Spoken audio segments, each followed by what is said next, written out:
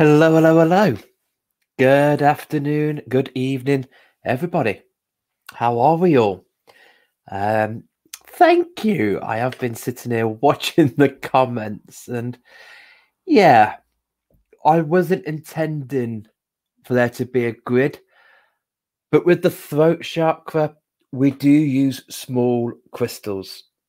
Um, it's a very delicate area, um, and especially for me, it's very delicate. So I would not appreciate a big crystal being placed there or multiple of crystals. Just because they're small doesn't mean you can put more on. They're small because even the smallest of crystal can feel like a house brick on the throat chakra. Um, and in my workshops i even show people that if you don't want to put it on the throat you could put two pieces on the shoulder near the throat um, so you don't have to work directly. I hate, hate seeing pictures of multiple crystals being used on the throat chakra because if you've got a client who has had something with their throat or they've been in domestic abuse where they've had hands around their throat, that's going to be, it's going to flashbacks. It's going to be awful for them. It's not going to be pleasant. And what you want for your clients in crystal healing is for them to be relaxed and calm. And if they're conscious of something on their throat that's choking them, that's putting pressure there, they're not going to relax. They're not going to enjoy the treatment. So today is the my top five crystals for the throat chakra. So when I was sitting here with the multiple of crystals because they're tiny because they're small crystals i brought multiples to them and then lo and behold a grid manifested a grid was formed from them. So yeah thank you for that. Um good afternoon anne. Hello hello hello. Good afternoon leslie. Evening anna i hope you're well thank you thank you leslie hey lucy I hope you're well. Evening, Anne Marie. Thank you. Hey, Leslie. Hi, Carolyn.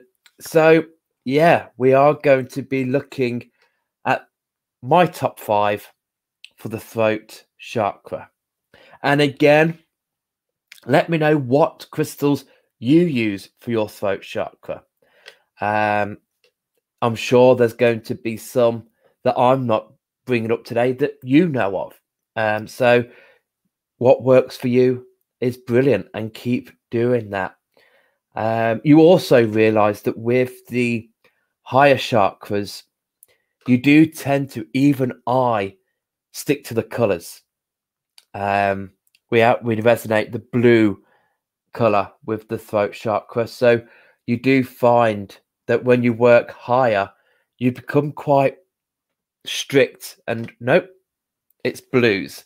So we've got the blue, the blue brigade in today. So let's drop down and show you these. So first up, my birthstone. Beautiful chunks of aquamarine. Lovely, beautiful and this is my icebreaker. This is to help encourage the flow. So if you are working continually on your throat chakra, if you're somebody who uses it a lot, then keeping it free from blockages, allowing that flow, that freedom of speech, um, aquamarine is really beautiful to use. Absolutely gorgeous pieces here. Um, it is, like I said, the birthstone of March, um, which used to be Bloodstone, but then Aquamarine came in and took over. So, yeah, Aquamarine is a beautiful crystal for the throat. Um, if you think of the icebreakers who, you know, those ships that work on the Arctic, crushing the ice as they're going, that's what this is. So, if you feel oh, I need a little help. I need some aid here to speak what's in my throat. I've got a frog in my throat. You know that. Oh, there's a lump there. I need it. I need it gone. Bring in aquamarine. Beautiful. Member of the beryl family. So shares the same family as emerald, morganite, goshenite, heliodor. Um, and there's also a green beryl as well. So that is my number one that I use for the throat chakra. Also good for GERD, acid reflux. If you're somebody who suffers from that, I do. I have a hiatus hernia, and oh gosh, um, acid reflux I suffer badly with. I bring aquamarine, um, and again, either place it on my throat or around the throat area and allow it just to soothe that burning sensation. So, really good for that as well. Um, next on the list is the stunning turquoise grandfather energy. If you were with us the other day with the solar plexus, um, we delved into malachite, which is a copper mineral. And here we have turquoise, which is copper mineral. But I get grandfather energy with this very old, um, very good for helping you to connect with your past lives, helping you to communicate in those times when we go into our past lives don't expect to be the same person you are now. There, you could be of a different nat- uh, different religion, different um, native. So you'll need to learn that tongue. You'll need to learn that language from where you were there. So turquoise is brilliant for that protection. Um, I think everybody resonates turquoise with protection especially the First Nation, they were very strong with using turquoise. They used to put it around their camp, around their teepees. Um, teepees, wigwams. I think they're both the same thing, aren't they? I don't know. I think they are. Um, they used to put them around that. So, yeah, beautiful energy there. So, if you're somebody who needs to protect your voice, if your voice is your profession, counselor, solicitor, um, singer, anything that you're using your voice for, protect it. Um, beautiful for that. Next one. It was a card that came up today. Larimar. Beautiful pieces of the blue pectolite. Pectolite is a white mineral, but when cobalt or copper goes into it, then we have beautiful Larimar, which is only found in the Dominican Republic. So the name is the Dolphin Stone, a great aid for Atlantis. And again, this is a nice crystal to meditate on, especially if you want to reach other civilizations or if you've got a link to other civilizations. So the Egyptians, the Atlanteans, the Lemurians, or if you feel like you're connected to the Pleiades, again, communication. Helping us, if we're communicating with that energy, it's going to help us to put that communication into place. So we might find that we don't talk this language, we talk something else, light language and codes. Beautiful. But yeah, very good there. If you think of dolphins and you think how they communicate and how we would wish to unlock their codes, unlock their squeals, their squeaks and clicks working with Larimar, you can start to break down those barriers, start to understand other languages and other communities.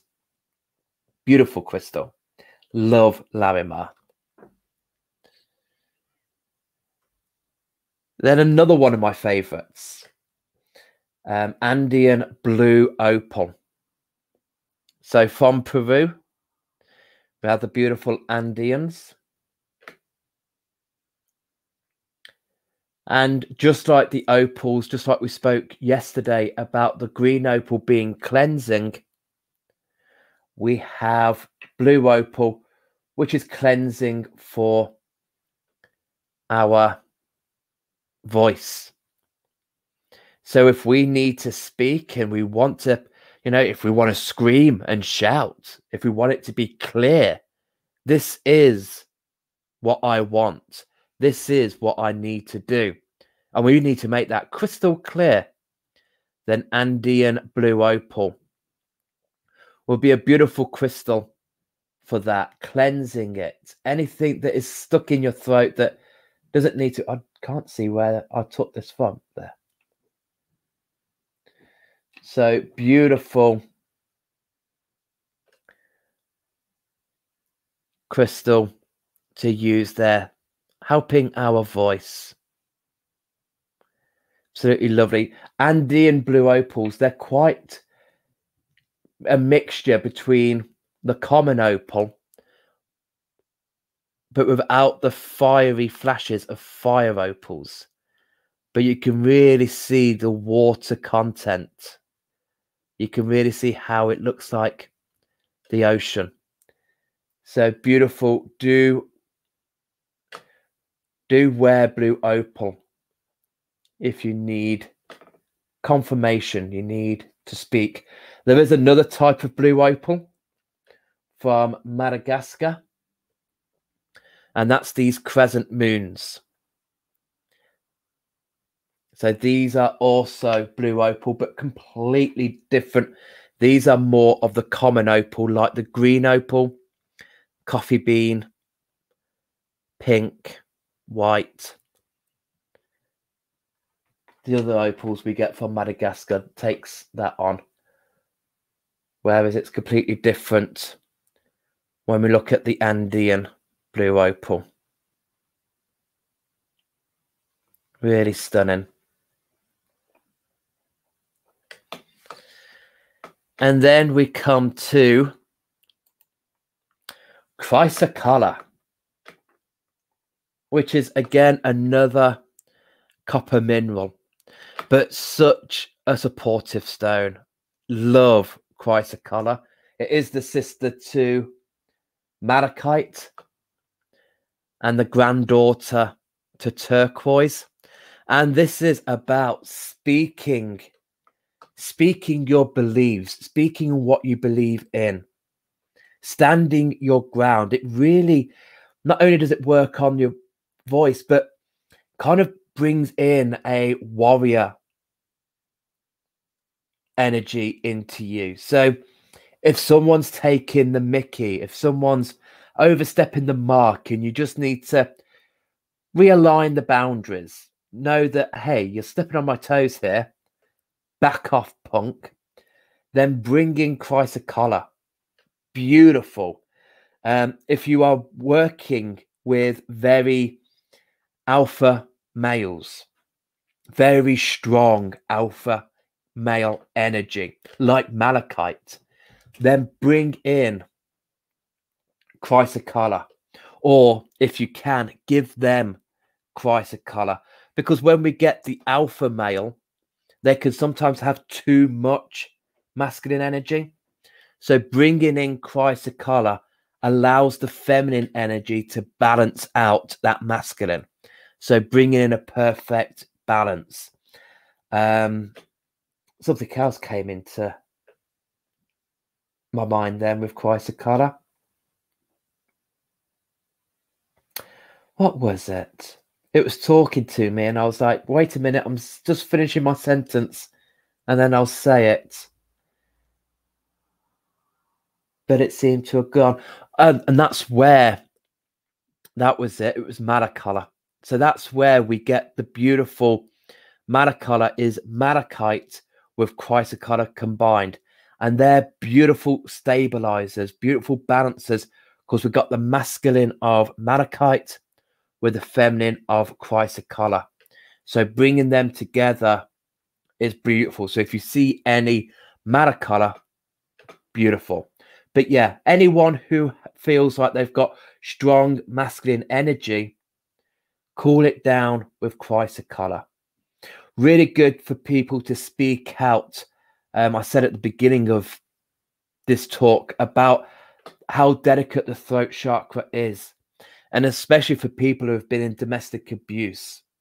Um, and if there is anything going on in your life that you have fear of speaking about, you have fear of talking. I'm not just talking about the females out there going through this, anyone can go through that situation. Chrysocolla allows you to bring in that support. Stand on your two feet and find who you can speak to about that. It encourages you and aids you in speaking it. It can't be inside you. Do not battle with those demons and don't battle being in that situation. So it's a really important crystal to use around the voice. Um, a little bit like a Amazonite in speaking your truth. Um, but of really allows you to seek who you can confide into and talk about this problem, talk about this issue, whether it's in your relationship, whether it's in your family, whatever it is, whether it's within yourself, you feel that there is a problem. It helps you to seek that wisdom, that advice. And yes, I think I can confide in this person. Please help. I need help. So lovely, Crystal. And that, I think, brings me to my top five for the throat chakra. So, in a minute, I'm going to pass it over to you guys. What are your top five? What is your top crystal for the throat chakra? Um, and as you find, because on Monday we'll be going over to the third eye, and there will be a lot of um, crystals that would be for the third eye that you take to the throat, and there's a lot of crystals for the throat that you could take to the third eye. Um, it's quite a anything goes because we're working with the indigo colors. So sometimes people take some crystals to the third eye that some people think that's for the throat. Doesn't matter. It's what you feel it needs to go. That's what matters. So aquamarine, Larimar, turquoise, Andean blue opal, and the beautiful chrysocolla. Let me know your thoughts on those beautiful crystals. Let me pop back up. So, what do we think? Where are the comments?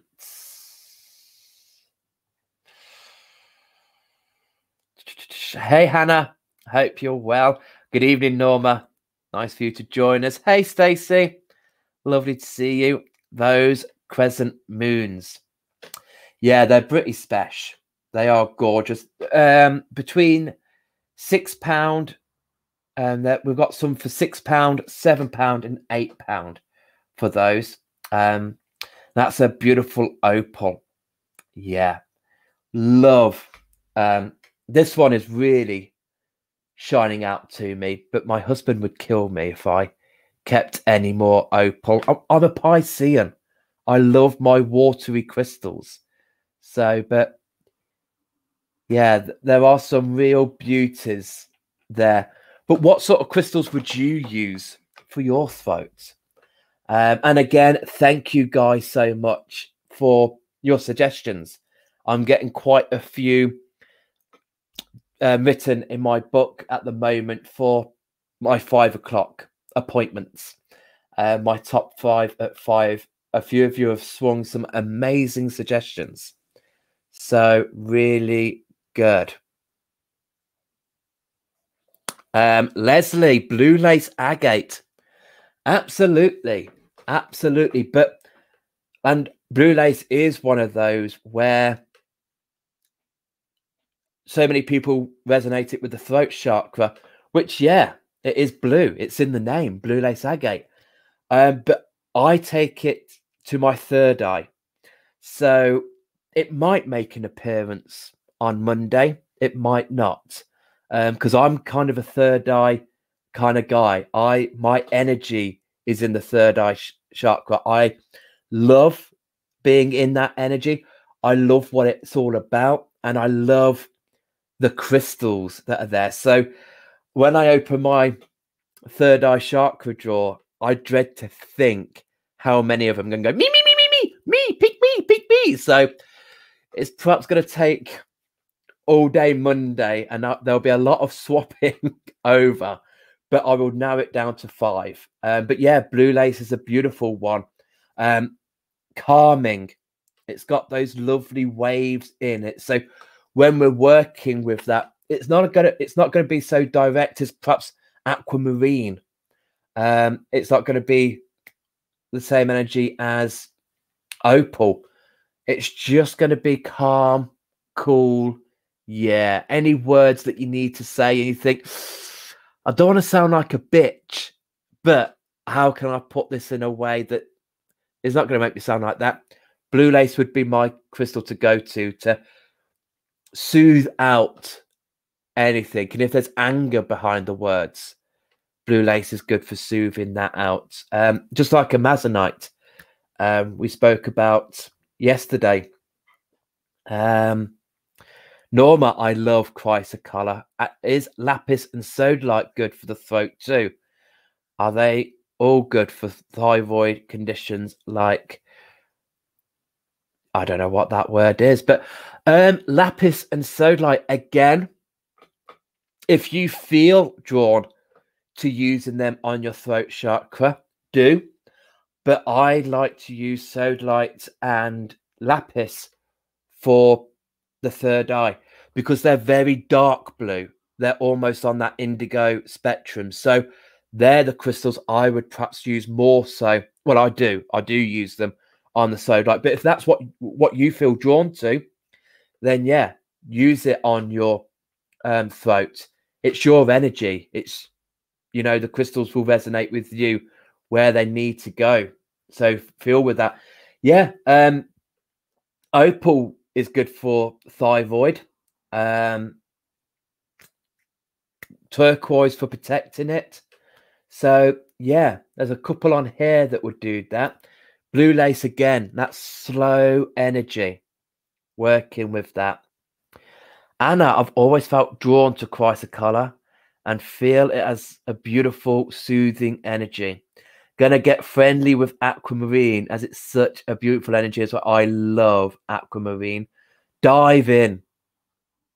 Dive into that aquamarine and just go with the flow. Blow that throat chakra out there. And I'm here. Woo!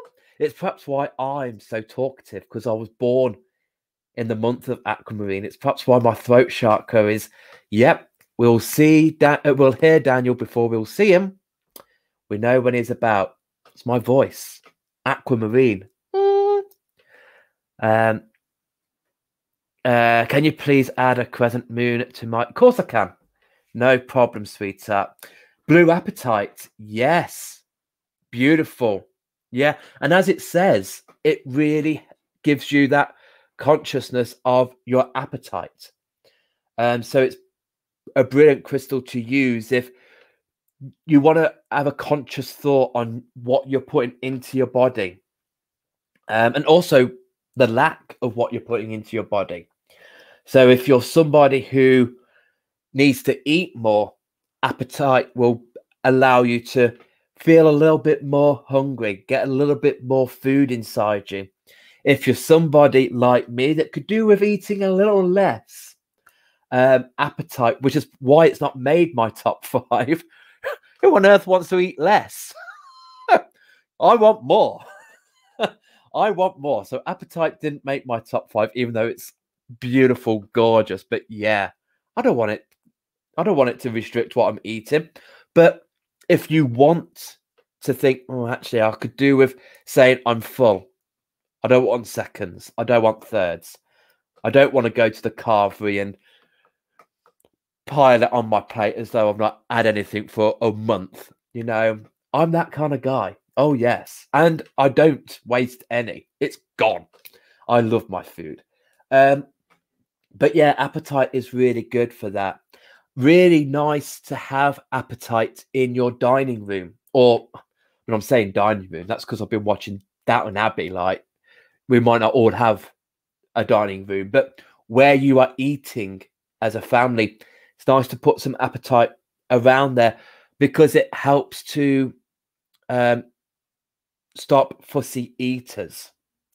They're my worst people. Oh, I am so blessed, touch wood, fossilized wood, that Reuben is not a fussy eater. Hallelujah. Because, oh, I mean, I've had my friends who have had kids and, you know, them who like something one day and then adamant the next day that they hate it. No, no. Like, oh, I couldn't. I couldn't cope with a fussy eater. I could cope with children with many conditions. Fussy eaters. No. So, apatite really helps to encourage a healthy appetite. So, helps children to relax a little bit.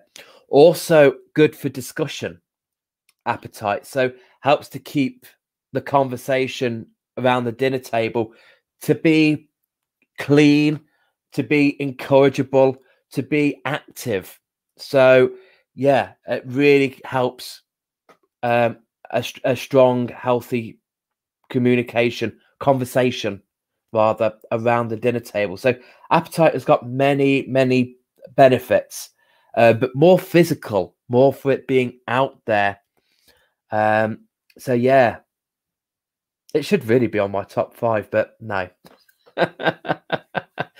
um, Leslie, Sapphire, and Chrysocolla. Sapphire, girl. Um, again, I use Sapphire for the third eye.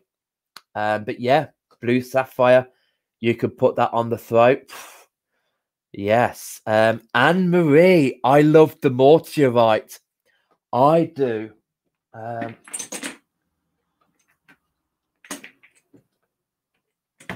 this will this will definitely be on my um, third eye because that's where I take it. I take the mortuorite to my third eye because it's the land. I'm not going to tell you. We'll wait till Monday for that.